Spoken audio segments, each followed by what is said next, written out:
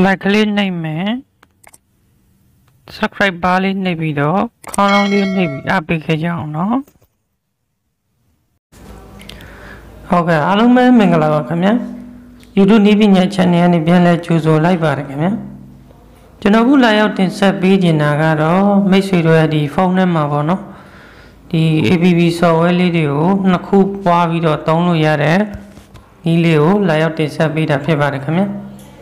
အဲတချို့ကြတော့ဒီ Facebook တို့ Messenger တို့ကိုကျွန်တော်တို့နှစ်ခုပေါ့နော်နှစ်ခုပွားပြီးတော့သုံးလို့ရတယ်ပေါ့နော်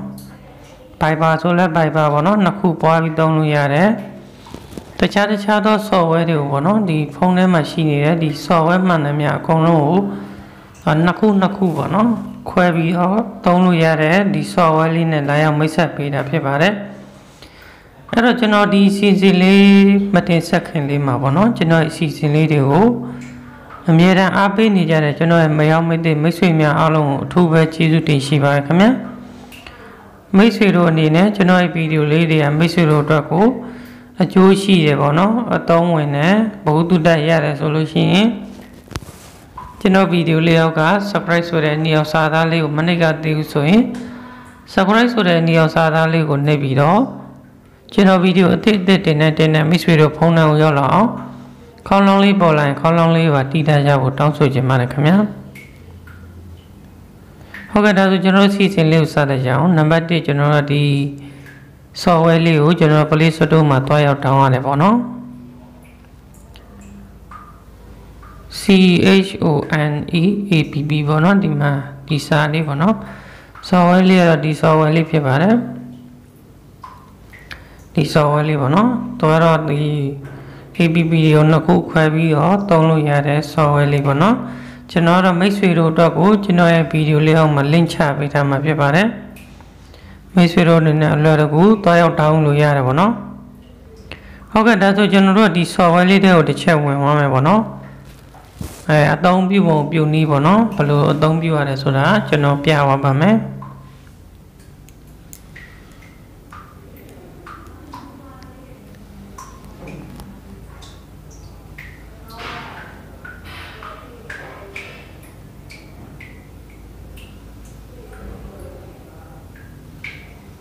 ပြီးလို့ရှိရင်ကျွန်တော်တို့ကဒီ around ဆိုတာလေးကိုနှိပ်ပေးလိုက်ပါတော့ around ဆိုတာလေးကိုနှစ်ခါလောက်နှိပ်ပေးလိုက်ပြီးဒီကျွမ်းကျွမ်းဝင်နေတာအမားကျစ်နှိပ်ပေးလိုက်ပါတော့ဒီလိုနေရာရောက်လာပြီဆိုရင်ကျွန်တော်တို့ကဒီမှာဒီဘက်မှာ ADD APP လို့ရေးထားရပါတော့အပေါင်းလက္ခဏာလေးနဲ့အဲ့နေရာလေးကိုတစ်ချက်နှိပ်လိုက်ပါတော့နှိပ်ပြီးပြီဆိုရင်ကျွန်တော်ကဒီမှာဖုန်းနံပါတ်ရှိနေတဲ့ software တွေပေါ့နော် အဲ့ software တွေကိုကျွန်တော်တို့ကဒီကိုအသုံးပြုခြင်းတဲ့ software ကိုအမှန်ချစ်ပေးလိုက်ပါတော့ Facebook ဆို Facebook ပေါ့နော် Facebook ကိုအမှန်ချစ်ပေးလိုက်တကယ်လို့ကိုအသုံးပြုမဲ့ software ဒီထဲမှာမရှိဘူးဆိုရင်ဒီနေရာလေးမှာရိုက်ပြီးရှာလဲရပါတော့ Facebook ကိုအမှန်ချစ်ပြီးပြီဆိုရင်ဒီမှာ APP ADD APP လို့ရေးထားပါတော့နှစ်လို့အဲ့နေရာလို့တစ်ချက်နှိပ်လိုက်ပါတော့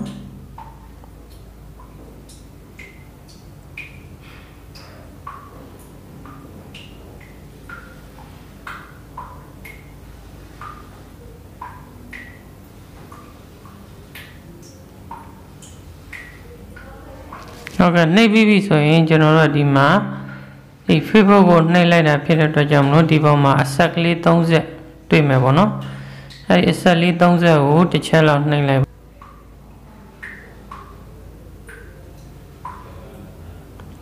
အဆက်လေး30ကိုကျွန်တော်နှိပ်လိုက်ပြီဆိုလို့ရှိရင်ဒီမှာပေါ့နော်ဒီလိုနေရာလေးပေါ့နော်စာကြောင်း1 2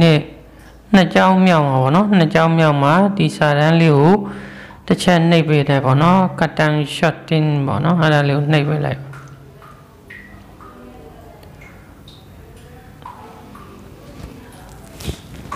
နှိပ်ပြီးပြီဆိုလို့ရှိရင်ကျွန်တော်တို့ဒီအပြင် home key နဲ့ထွက်ပြီးတော့ကြည့်မယ်ပေါ့နော် Facebook နှစ်ခုဖြစ်သွားပြီလားပေါ့နော်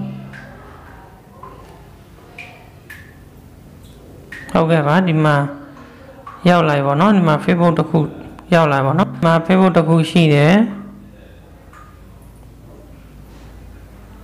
ပေါ့နော်ပြီးလို့ရှိရင်ဒီမှာ Facebook တစ်ခုထပ်ရောက်လာရပေါ့နော်အဲဒီထဲကိုဝင်သွားပြီးတော့ကျွန်တော်တို့ကဒီမှာနောက်တစ်ကောင်ပေါ့နော်နောက်တစ်ကောင်ထပ်ထည့်ပြီးတော့အသုံးပြုလို့ရရပါတော့ဒီမှာ Gmail နဲ့ password တွေထည့်ပြီးတော့အသုံးပြုလို့ရရပါတော့ဒါပြောမယ်ဆိုရင်ကျွန်တော်တို့ကဒါ Facebook နှစ်ခုပေါ့နော်တုံးအသုံးပြုလို့ရပါပြီပေါ့နော်အဲဒီလိုမျိုးကကျွန်တော် Messenger ကိုလည်းပဲအဲ့လိုမျိုးပေါ့နော်နှစ်ခုခွဲပြီးသုံးနေတယ်ဆိုလို့ရှိရင်လည်း Messenger ကိုခုနကကျွန်တော်ပြောသလိုနှိပ်ပြီးတော့ အဲအသုံးပြုလို့ရရပါတော့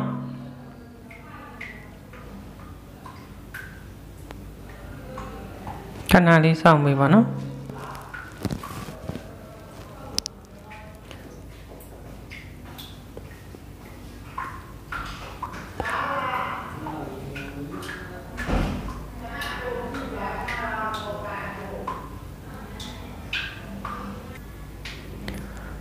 ဟုတ်ကဲ့ကျွန်တော်ဒီလိုမျိုးလေးပေါ်လာပြီဆိုရင်ကျွန်တော်ဒီမှာ contact ဆိုတာလေးကိုတစ်ချက်နှိပ်ပေးလိုက်ပါတော့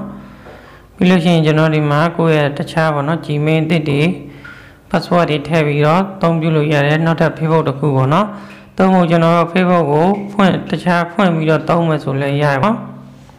ဒီလိုမျိုးပဲပေါ့နော်ကျွန်တော်တို့ဒီ Messenger တွေပါတွေလည်းခုနကျွန်တော်ပြသလိုမျိုးပွားပြီးတော့အသုံးပြုလို့ရတယ်ပေါ့နော်ဒီ software လေးတွေကနေ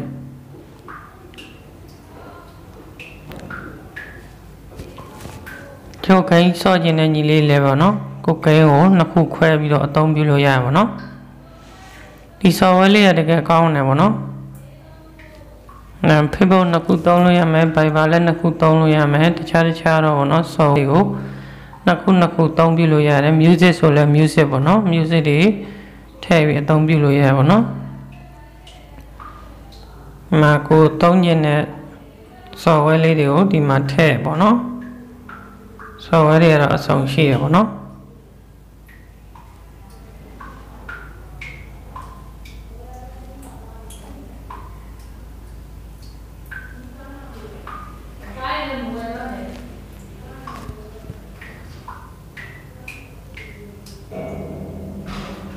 ဟုတ်ကဲ့ကျွန်တော်စီစဉ်လေးရတာဒီလောက်ပါပဲခင်ဗျာမိတ်ဆွေတို့အနေနဲ့ကျွန်တော်အခုပြတဲ့အတိုင်း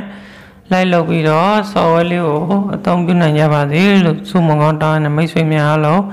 တူချင်းစီကိုတူဘက်ကျေးဇူးတင်ရှိပါတယ်ခင်ဗျာ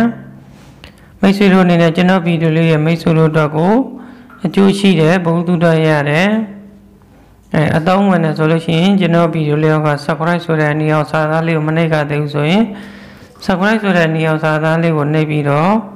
ကျွန်တော်ဗီဒီယိုအသစ်အသစ်တင်နေတင်နိုင်မိတ်ဆွေတို့ရဲ့ဖုန်းတော့ရောက်လာအောင်